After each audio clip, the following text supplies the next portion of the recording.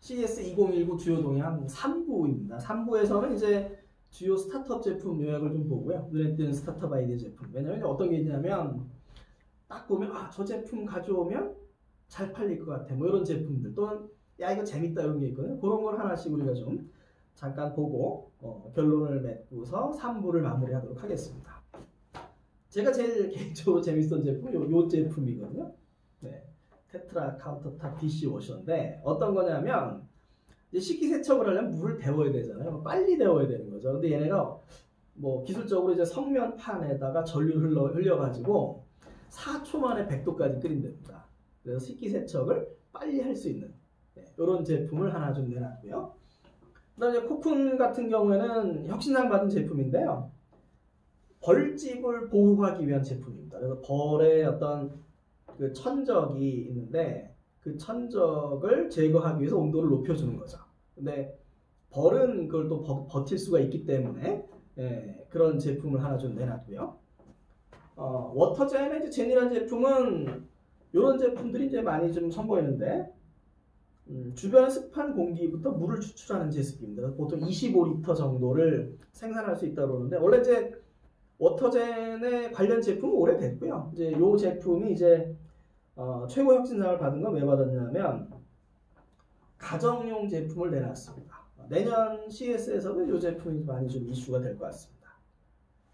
다음에는 네, 한양대학교에서 나온 제품이고요. 이것도 상당히 재밌는데, 그러니까 탄소 나노 튜브를 땡기면 네, 전류가 발생한답니다. 그래서 그거를 우리가 물에 있으면 물에 에, 파도가 치면 그 파도의 일렁거림에서 탄소 나노 튜브를 땡겨줘서 전류가 발생하면 어, 내가 지금 어디 있다. GPS 신호를 이제 보내고 LED를 작동시키고 이런 제품이죠. 역시 혁신상을 받은 제품이고요. 요크는 이제 우리나라 제품인데요.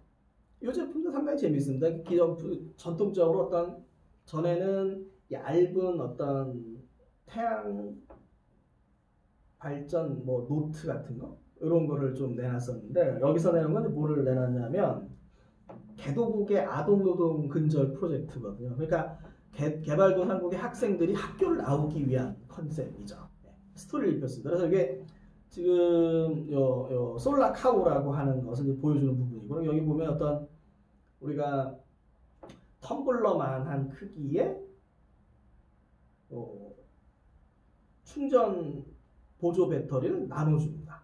학생들한테. 그럼 그 학생들이 학교에 와야만 충전이 되는 거죠. 학교에서 충전하고서 그 제품을 이제 집에 가서 쓰는 거죠. 왜냐면 전력이 좀 안 깔리는 데가 많으니까.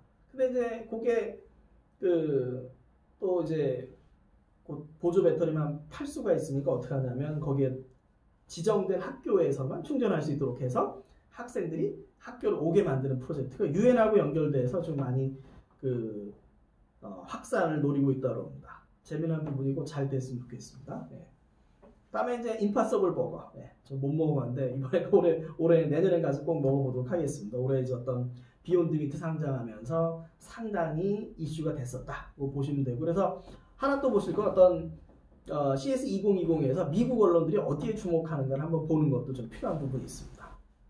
그다음에 어, 땀에서 이제 뭐 어, 측정하는 센서 이런 게 있고 피부 질환 모니터링 부분들 그 다음에 아마존의 스마트 초인종 그러니까 어떤 부분이냐면 이제 누르면 띵동 하면 이제 카메라가 누구 그 작동해서 이제 누군지를 보여주는 뭐 이런 부분이죠. 대화도 가능하고 뭐 이런 부분이 하나 있고요.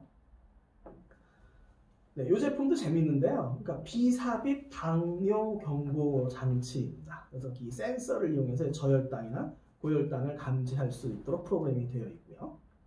네, 이거는 네, 뭐 개그에 나올 루치이기도 한데 네, 고양이가 여러 개 있으면 여러 마리가 있으면 여러 마리 중에 특정 고양이 얼굴에만 통이 열리도록 그러니까 한 고양이만 힘센 고양이만 너무 많이 먹지 않도록 하는 이런 제품이고요.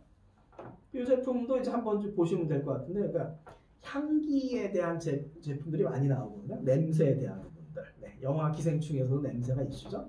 그래서 맞춤형 향기를 합성하는 부분이고 그거 말고 이제 우리나라 업체는 퍼퓸 블렌더라는 업체가 있습니다. 어, 저 동영상 올려놓기도 했는데요. 그러니까 향수를 찍어서 성분도 확인하고요. 그 다음에 뭐 비슷한 향수를 추천받고 제조도 가능하도록 어, 한다고 합니다. 그러니까 뭐 이런 것은 뭐 샤넬 넘버 5를 2020년대에 맞게 재설계한 향수. 네, 상당히 좀 재밌습니다. 그래서 지금 이제 향이 이슈가 많이 되고요. 어, 또 이제 그 우리나라의 벤텍스 같은 경우에 이제 항균 탈취 이런 부분들 또 전시를 하거든요. 그래서 어떤 향에 대한 것도 하나의 좀 이슈가 되고 있다. 이렇게 좀 보시면 되겠고요. 그다음에 이제 마우서 같은 경우에는 고양이를 위한 인공지능 장난감입니다. 그러니까 센서 고양이를 감지해서 도망가는 거죠. 그래서 쥐의 움직임을 학습해서 쥐처럼 움직이는 이런 장난감이고요.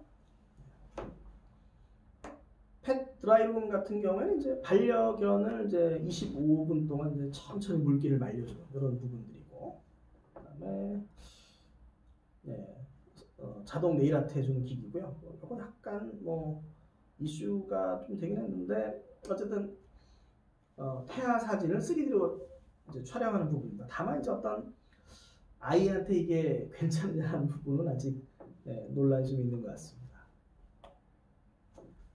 키스타라는 제품 어떤 제품이냐면 작년에 나왔던 제품이거든요. 그러니까 인간의 호흡을 모델링을 하는 거죠. 사람처럼 이산화탄소를 내뿜어서 모기를 쫙 모은 다음에 예, 태워서 어, 사라지게 하는 이런 제품입니다. 네, 룰루랩 같은 경우에 차병원하고 협력을 해서 어, 이 피부를 이제 스캔해서 인공지능 분석한 다음에 이러이런 식으로 하세요. 뭐 그런 제시를 해주는 부분이고요. 내년에도 또 이제 재미난 제품이 또 나올 것 같습니다.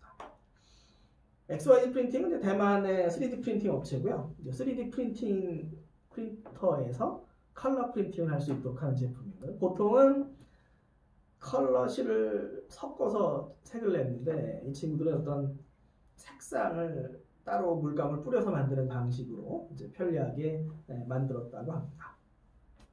예, 그래서 눈에 띄는 제품들 한번 우리가 어, 정리를 해봤고요. 네, 마지막으로 이제 정림 시사점을 쭉 보도록 하겠습니다.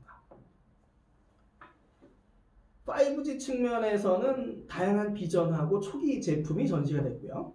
디스플레이 부분에서 어떤 공간 사용성 부분, rollable TV 부분, 그리고 flexible 디스플레이를 통한 다양한 제품들이 이제 선보였고요. 스마트홈에서는 인공지능과 연결 부분, 모니터링 기기가 확산되고 인공지능 처리가 중요해지는 부분들. 그 다음에 wearable에서는 어떤 진단에서 치료 운동으로 발전한 능동형 기기 부분. 그리고 의료 융합 서비스 부분 하나의 이제 키워드로 볼 수가 있겠고요. AR, VR에서는 여전히 임머시브, 몰입형 기기가 이슈가 됩니다. 어떻게 눈의 어, 비전 부분을 조금 더 해상도를 높여줄 것인가 이런 부분들 그 다음에 어떤 타격감을 줄 것인가 좀 더 쉽게 포인팅을 할 것인가 이런 부분들. 그리고 그것을 통해서 어떻게 서비스를 만들어 갈 것인가 이런 게 이제 이슈가 되고요. 자율주행 부분은 네. 사용자의 눈높이가 높아졌어요. 그래서 지금 올해 이제 이슈는 이제 상용화를 위해서 기술의 완성도를 높이는 부분을 중점적으로 보시면 될 것 같고요. 로봇 쪽은 이제 점점 더 응용이 다양해집니다. 그런 부분 보시면 되고 인공지능 측면에서는 인공지능 칩의 중요성, 인공지능 하드웨어 중요성이 많이 강조됐다. 음성 인식 기술이 다양하게 진화하고 있다. 이런 걸 좀 보시면 될 것 같습니다. 네.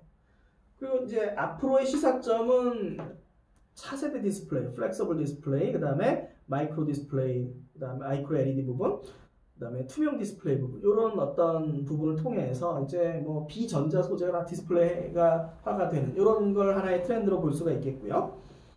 로봇 응용 분야가 점차로 확대된다. 네. CES 2020에 상당히 중요해질 거다. 이런 부분이고요. 그리고 올해 CS 2019에서 자동차 전시는 약간 실망스러웠다는 평가 좀 많긴 했는데 근데 이제 내부적으로 내부적으로 뭐가 있냐면 자율주행 3단계, 4단계 진화를 위해서 완성도를 높이는 게 이제 키워드가 좀 되고 있습니다. 딥러닝에서는 인공지능 칩셋이 계속 중요해질 거다 이런 부분이고요. 의료나 뇌과학 관련 응용이 좀 증가하고 있습니다. 더불어서 네, 반려동물 시장이 상당히 커지고 있다. 이것도 하나의 네, 키워드로 좀 볼 수가 있겠습니다. 그리고 CS2019에서는 참여 기업이 20% 정도 감소했고요. 자동차나 가전에서는 존재감이 없었습니다. 다만 드론이나 로봇 인공지능에서는 중국의 스타트업들이 유니콘으로 성장하고 있는데 우리나라도 그런 어떤 유니콘을 성장시키기 위한 노력이 좀 필요하다. 이런 부분으로 볼 수가 있겠고요. 우리나라에서는 이제 전통 가전에서 이제 LG삼성이 확실한 우위를 보였고요. 그다음에 네이버와 SKT도 신규 참여를 했습니다.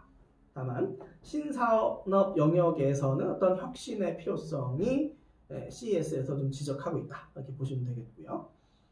그리고 이제 미국 쪽에서는 이제 중국이 많이 전시가 축소되면서 우리나라와 미국 업체들이 좀 부각이 되거든요. 그래서 퀄컴이나 구글이나 인텔 등의 전시가 좀 부각이 많이 됐고 어, 우리나라랑 비교하면 더 wearable이나 자율주행 쪽의 어떤 제도적인 지원 부분이 좀 잘 되고 있다. 이것도 우리나라로서는 좀 참고해 볼 어, 필요가 있겠습니다. 네, 여기까지 CES 2019 어, 요약을 마치고요. 네, 모두들 CES 2020에서 뵙도록 하겠습니다. 감사합니다.